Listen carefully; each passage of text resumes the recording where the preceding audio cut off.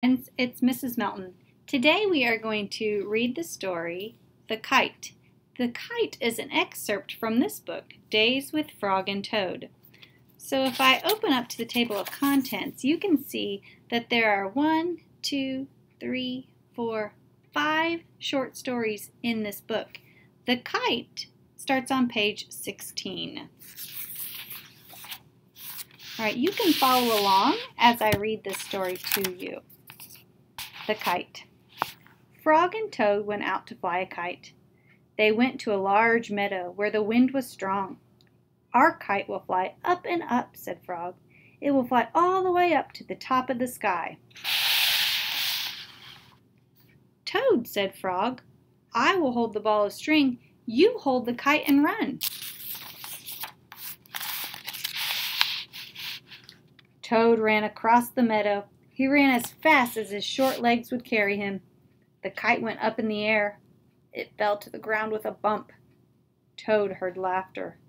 Three robins were sitting in a bush. The kite will not fly, said the robins. You may as well give up. Toad ran back to Frog. Frog, said Toad, this kite will not fly. I give up. We must make a second try, said Frog. Wave the kite over your head. Perhaps that will make it fly.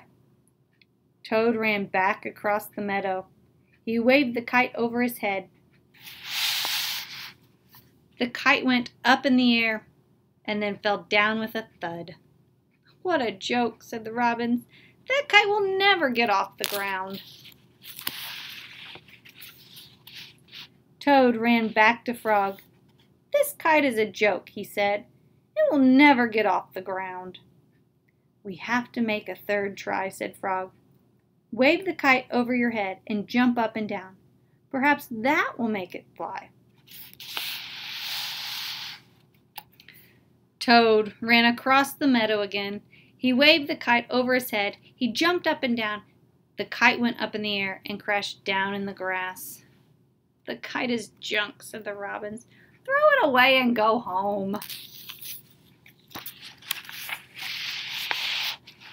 Toad ran back to Frog. This kite is junk, he said. I think we should throw it away and go home. Toad, said Frog, we need to try one more try.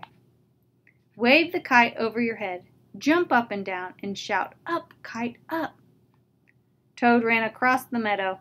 He waved the kite over his head. He jumped up and down and shouted, Up, kite, up! The kite flew into the air. It climbed higher and higher. We did it, cried Toad. Yes, said Frog.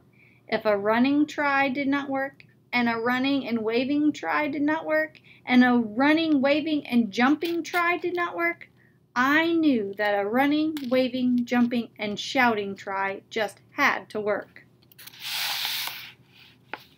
The robins flew out of the bush, but they could not fly as high as the kite.